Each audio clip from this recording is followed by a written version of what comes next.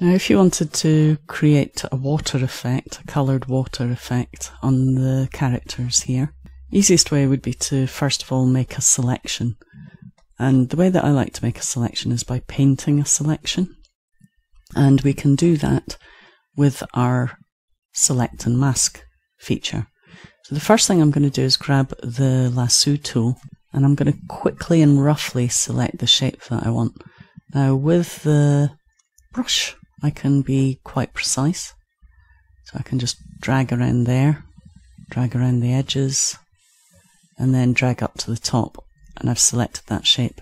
If you don't have the brush, what you could do is use the polygonal lasso tool and that allows you to just click, let go, click, let go until you've gone round the shape roughly.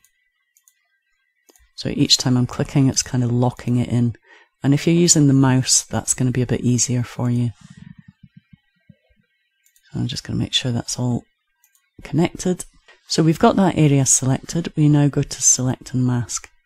And at the top of select and mask, if we choose the overlay, it puts a red overlay above the selected areas. Now on yours, it might say masked areas in which case it's showing you the areas that are masked. So if we put that on selected areas, and then what we're going to do is paint in all these bits. Now, if you're using the mouse, if you're using the mouse, it's going to be a little bit tricky. So just do lots of small strokes. It's a bit easier to control if you do lots of small strokes rather than try and do it in one. If you've got a pen, then it's going to be much easier to get those curves. Okay, you'll see that when I try and do long strokes with the mouse, it just doesn't work. So I do lots of little short strokes. I can just gradually build it round. I'm going to do this last bit with the pen. You'll see that it's much, much easier for me to draw with the pen than it is with the mouse. Now, if you go over the edge like that and you make a mistake, you can switch to the minus tool I'm going to make my brush a little bit smaller for that.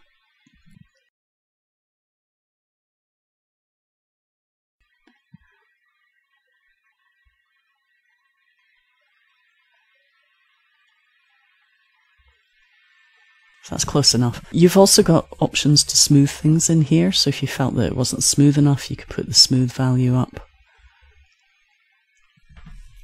Or you could even feather the edge if you want a softer edge.